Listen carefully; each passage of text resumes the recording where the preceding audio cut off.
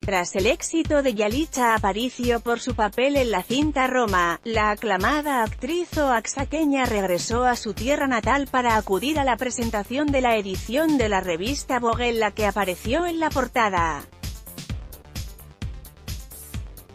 Yalitza se mostró muy contenta por estar nuevamente en el estado que la vio crecer y, acompañada por la también actriz Nancy García, encabezó el elegante evento al que acudieron Georgina Meneses y Lila Downs, así como la presidenta de Desarrollo Integral de la Familia, DIF, de Oaxaca, Beth Morán, en representación del gobernador del estado Jorge Murat.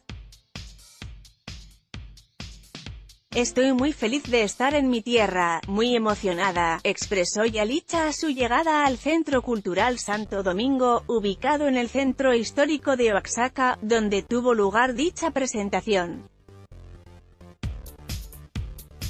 Los asistentes se mostraron muy animados con la presencia de Yalitza y aprovecharon el momento oportuno para conseguir una fotografía a su lado.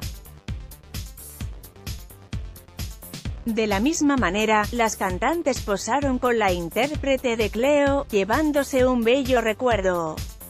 Durante la ceremonia, la directora editorial de Vogue México y Latinoamérica, Carla Martínez de Salas, dio a conocer que la portada en la que Yalitza posó fue la más difundida en la historia de la publicación, que cumplirá este 2019 20 años, por lo que agradeció a la actriz ser una parte importante en este evento para la famosa revista.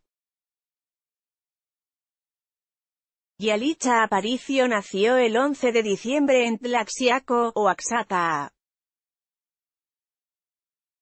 De madre triqui y padre mixteco, Yalitza fue maestra de preescolar antes de impactar al mundo con su sensibilidad artística. Sin embargo, tras quedar desempleada su vida dio un giro de 180 grados pues fue cuando surgió la oportunidad de ser actriz.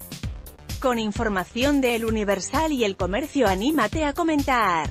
Queremos saber tu opinión. Comentarios Powered by Facebook Comments.